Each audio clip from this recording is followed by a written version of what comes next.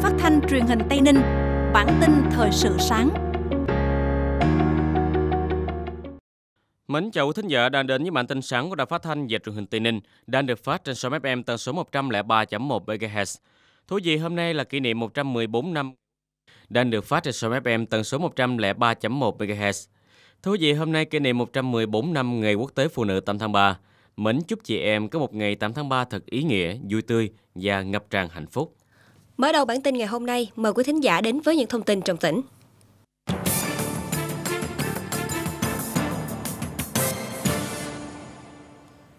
Thưa quý vị, sáng ngày 7 tháng 3, Ủy ban Thường vụ Quốc hội đã tổ chức hội nghị toàn quốc lần thứ hai triển khai luật nghị quyết của kỳ họp thứ 6 và kỳ họp bất thường lần thứ 5 Quốc hội khóa 15. Ông Dương Đình Huệ, Ủy viên Trung ương Đảng, Ủy viên Bộ Chính trị, Chủ tịch Quốc hội chủ trì hội nghị. Hội nghị diễn ra trong một buổi sáng với hình thức trực tuyến kết nối trực tuyến tới 63 điểm cầu tại các tỉnh, thành phố trong cả nước.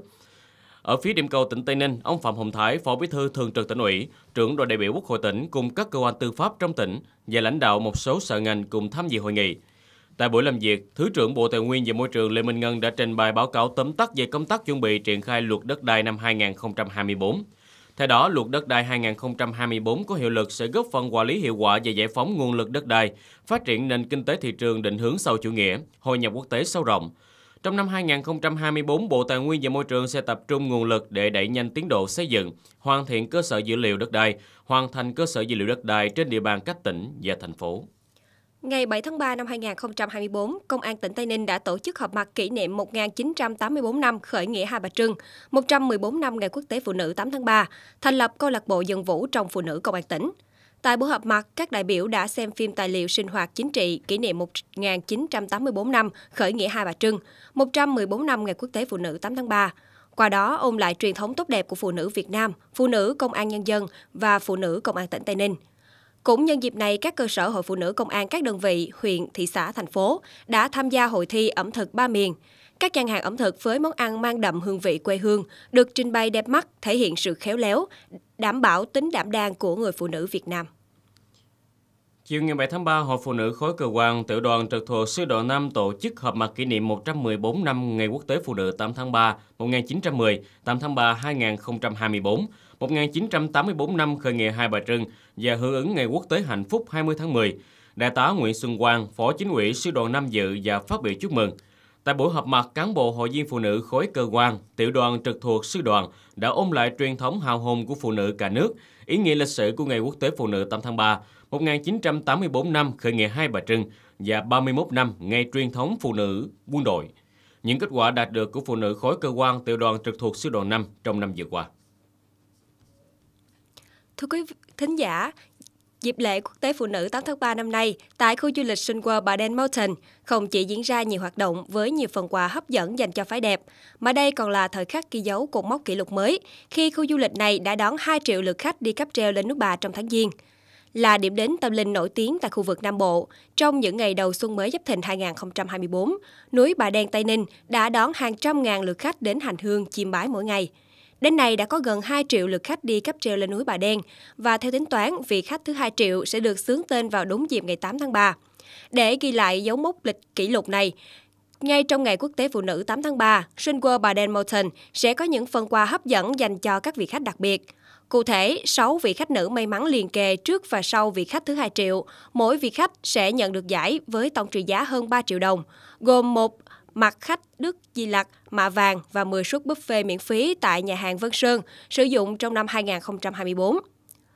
Vị khách may mắn nhất là vị khách thứ 2 triệu sẽ nhận được một bộ quà tặng với tổng trị giá hơn 8 triệu đồng, gồm một cặp thẻ trải nghiệm không giới hạn dịch vụ cấp treo, Năng Thái Đỉnh An Lạc năm 2024, một lá bồ đề hoàng kim được chế tác từ những lá bồ đề tự nhiên độc bản, mạ vàng 24K và 10 suất buffet miễn phí tại nhà hàng Vân Sơn sử dụng trong năm 2024. Ngoài ra, mỗi vị khách may mắn còn được tặng một bó hoa tulip được trồng ngay tại đỉnh núi Bà Đen Tây Ninh và một đèn đăng để gửi gắm nguyện ước cho năm mới bình an và may mắn. Không những thế, trong ngày quốc tế phụ nữ 8 tháng 3, chị em phụ nữ khi tham quan đỉnh núi Bà Đen với trang phục áo dài cũng sẽ được tặng ngay một bó hoa tươi thắm thay cho lời chúc mừng.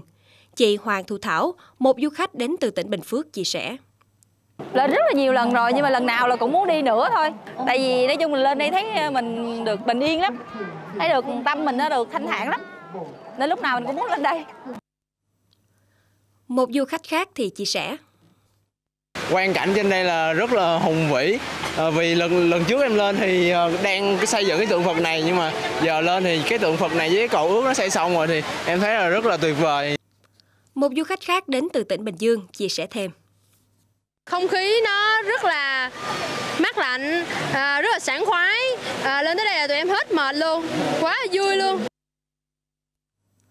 Ngoài các quà tặng hấp dẫn, đến với núi Bà Đen trong dịp này, du khách cũng sẽ được thưởng thức các chương trình nghệ thuật độc đáo chào mừng Ngày Quốc tế Phụ nữ 8 tháng 3, cùng hoạt động chào mừng vị khách thứ hai triệu sử dụng cáp treo tại khu du lịch, với các điệu múa sen, múa nón, múa lân sư rồng và trống hội rộn rã.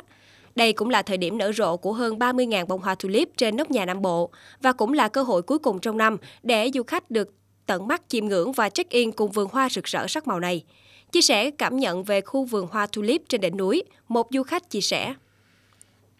Hoa tulip năm nay thật sự rất là đẹp. Hồi nãy em nhìn em em mới nhìn thôi là em tưởng đâu là hoa giả kìa.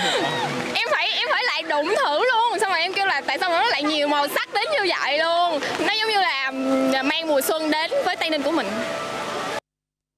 Với việc không ngừng thay đổi cảnh quan thiên nhiên cùng những hoạt động văn hóa sôi nổi, những công trình kiến trúc tâm linh độc đáo mang đẳng cấp quốc tế, núi Bà Đen Tây Ninh đã dần khẳng định vị thế của mình trên bản đồ du lịch của cả nước và vươn lên trở thành một trong những điểm đến hành hương đông khách bậc nhất cả nước.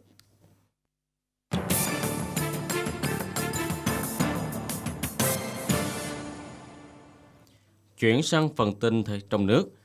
Thú vị sáng ngày 7 tháng 3 tại Phủ Chủ tịch, Chủ tịch nước Võ Văn Thượng đã trao quyết định bổ nhiệm chức danh kiểm sát viên Viện Kiểm sát Nhân dân tối cao cho 5 đồng chí. Đây là chức danh tư pháp cao nhất trong hệ thống ngạch kiểm sát viên của ngành kiểm sát. Trao quyết định bổ nhiệm, Chủ tịch nước Võ Văn thưởng khẳng định các kiểm sát viên được bổ nhiệm lần này đều là những cán bộ có bản lĩnh chính trị vững vàng, phẩm chất đạo đức tốt, trình độ chuyên môn cao và nhiều kinh nghiệm trong hoạt động của ngành kiểm sát, hiện đứng đầu các đơn vị của Viện Kiểm sát Nhân dân tối cao. Việc bổ nhiệm lần này góp phần tăng thêm sức mạnh cho ngành kiểm sát để hoàn thành tốt nhiệm vụ chính trị của ngành. Thông tin từ Bộ Công Thương cho biết, trong 2 tháng đầu năm, xuất khẩu tới các thị trường lớn phục hồi tốt và đạt tăng, mức tăng cao. Mỹ vẫn là thị trường xuất khẩu lớn của Việt Nam với kim ngạch 17,4 tỷ đô la Mỹ, tăng 33,7% so với cùng kỳ năm trước. Cũng trong khoảng thời gian này, có 39 trên 45 mặt hàng tăng trưởng so với cùng kỳ năm ngoái.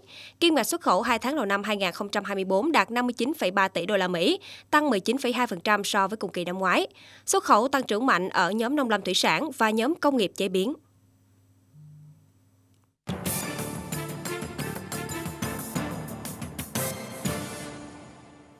Chuyển sang phần tin quốc tế, thú vị tình hình biển đỏ tiếp tục nóng lên khi ngày 6 tháng 3, một tàu chở hàng của Hy Lạp trên vịnh Aden đã bị trúng tên lửa của lực lượng Houthi, khiến ít nhất 3 người thiệt mạng.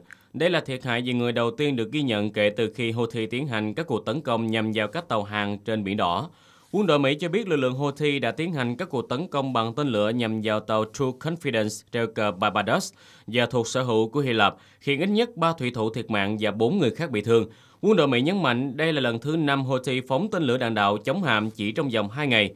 Bộ Ngoại giao Mỹ tuyên bố Washington sẽ buộc lực lượng Houthi phải chịu trách nhiệm về vụ tấn công và đây là vụ việc gây thương vong đầu tiên của Houthi kể từ khi lực lượng này nhắm vào các tàu chở hàng. Anh kêu gọi ngăn chặn các cuộc tấn công này. Trong khi đó, chính phủ Hàn Quốc đang nỗ lực giải quyết cuộc khủng hoảng y tế khởi nguồn từ làn sóng đình công của các bác sĩ, tập sự, vốn đã kéo dài hơn 2 tuần và chưa có dấu hiệu kết thúc. Trong tuyên bố đưa ra hôm nay, Tổng thống Yoon suk in khẳng định đã có biện pháp nghiêm khắc đối với những người tham gia hoạt động này. Phát biểu tại cuộc họp nội các tổ chức tại khu Liên hợp Chính phủ ở thành phố Sejong, Tổng thống Yoon nhấn mạnh cần phải nghiêm trị các hành vi từ bỏ nhiệm vụ của các bác sĩ. Theo nhà lãnh đạo Hàn Quốc, chính phủ sẽ huy động sức mạnh của toàn bộ nguồn máy và sử dụng mọi nguồn lực để có thể đảm bảo không có khoảng trống trong dịch vụ y tế. Bên cạnh đó, chính phủ cũng đã tiến hành quy trình đình chỉ giấy phép hành nghề của những bác sĩ tập sự tham gia đình công. Ngày 6 tháng 3, Liên minh châu Âu đã đạt thỏa thuận về cải cách giao thông hàng không nhằm thống nhất các quy định về không phận vốn bị cho là nguyên nhân gây ra sự chậm trễ thường xuyên và lượng phát thải không cần thiết trên khắp châu Âu. Bỉ nước giữ vai trò chủ tịch luân phiên EU cho biết các nhà đàm phán của Hội đồng châu Âu và Nghị viện châu Âu đã đạt được thỏa thuận tạm thời về cải cách bầu trời châu Âu thống nhất nhằm tăng năng lực, giảm chi phí và tăng khả năng thích ứng của hệ thống kiểm soát không lưu, đồng thời giảm tác động môi trường của ngành hàng không. Theo thỏa thuận, các quốc gia thành viên sẽ thành lập các cơ quan giám sát quốc gia để đánh giá cơ cấu và tính bền vững tài chính của cơ quan kiểm soát không lưu. Ngày 6 tháng 3, Lào thông báo đã phát hiện 3 trường hợp mắc bệnh than do ăn thịt động vật nuôi bị chết. Hiện cả 3 trường hợp này đều đã được nhập viện để điều trị. Văn phòng nông, nông lâm huyện Sukhuma, tỉnh Champasak cho biết, để ngăn ngừa và kiểm soát sự lây lan của dịch bệnh, huyện Sukhuma đã nghiêm cấm mua bán, vận chuyển động vật ra vào thị địa bàn. Huyện cũng đã cấm lò và cơ sở giết mổ động vật, giết trâu, bò, đồng thời nghiêm cấm tiêu thụ động vật chết mà không rõ nguyên nhân. Đối với người nuôi, huyện Sukuma yêu cầu phải nuôi nhốt động vật trong chuồng trại để theo dõi các triệu chứng. Bệnh than là một bệnh truyền nhiễm trên vật nuôi, có khả năng gây tử vong. Việc người dân tự ý giết mổ ăn thịt khi gia súc chết có thể dẫn tới bệnh lây sang người. Phần tin vừa rồi cũng đã khép lại bản tin sáng nay của Đài Phát thanh và Truyền hình Tây Ninh. Đừng quên theo dõi bản tin sáng được phát trên số FM tần số 103.1 MHz vào lúc 7 giờ hàng ngày quý vị nhé. Chương trình do Thanh Bình biên tập, các phát thanh viên Diệt Anh, Phương Nguyên, kỹ thuật viên Tuyết Dân thực hiện. Hẹn gặp lại quý thính giả trong các chương trình tiếp theo. Thân mến, chào tạm biệt.